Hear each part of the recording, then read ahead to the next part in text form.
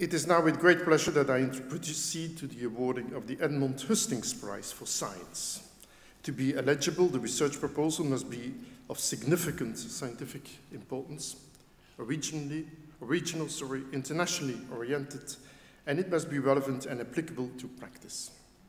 Maastricht University is indebted to the Edmond Hustinx Foundation for this prize. May I invite Peter Frenet, President of the Foundation, to the stage to announce the winner.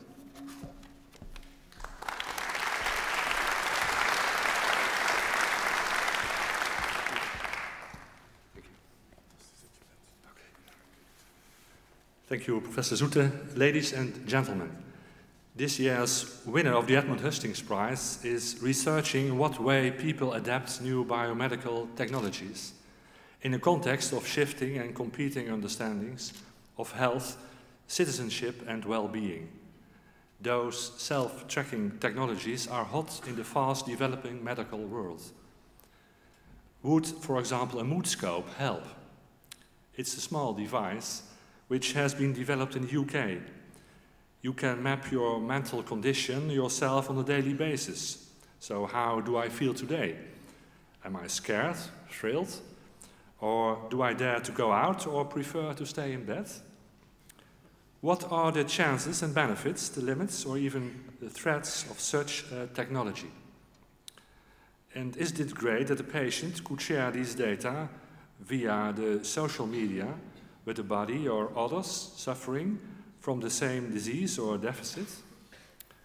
Based on these data, your body can decide in which direction to take action to help. Talking about solidarity. It's indeed the case that this technology in healthcare is contributing to changes in the patient's conduct simply because someone is paying specific attention to you let me quote what the jury wrote about the prize winner in its report. She has rapidly built a national and international name as evidenced by her numerous ties with international interdisciplinary networks and research groups. While visiting researcher at King's College, she helped to initiate the Citizen Participation in Science and Medicine Network. This testifies to the great societal relevance of her work. Policymakers all over the world have put their hopes on personalized healthcare as a way to keep healthcare sustainable.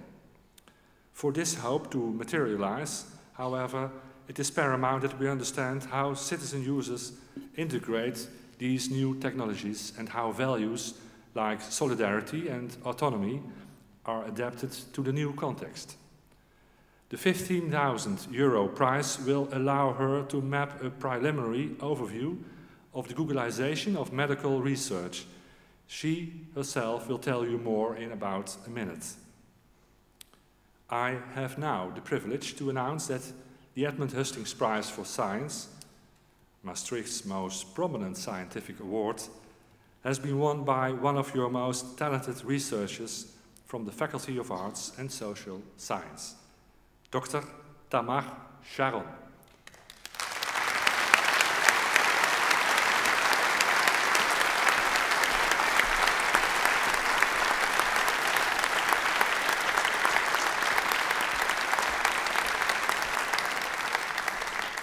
You will meet her now in a short video presentation.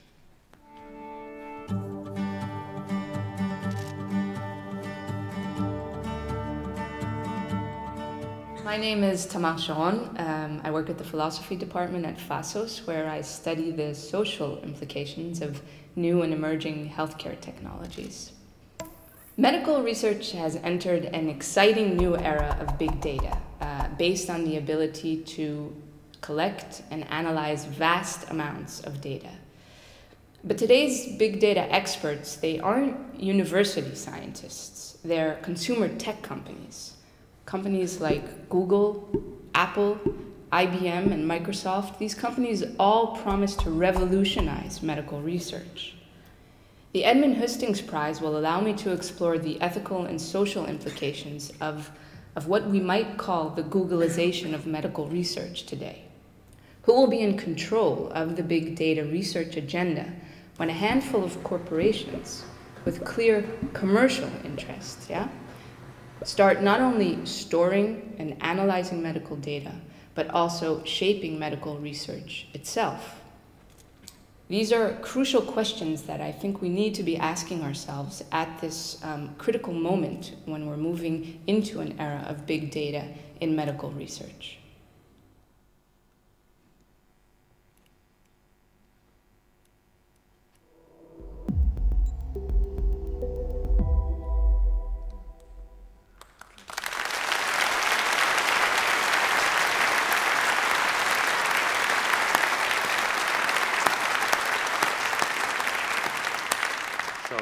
Dr. Sharon, on behalf of the board of the Edmond Hustinx Foundation, I would like to warmly congratulate you on this prize.